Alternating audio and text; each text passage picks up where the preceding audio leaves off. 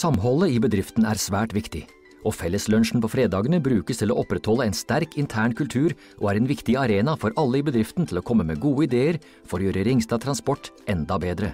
Da er det lunsj! Da var det skikkelig. Sånn Anis er lakris. Wolf and batch. Ja, ikke sant? Da kan jeg lage det etter jobb, jeg vet du. Tar og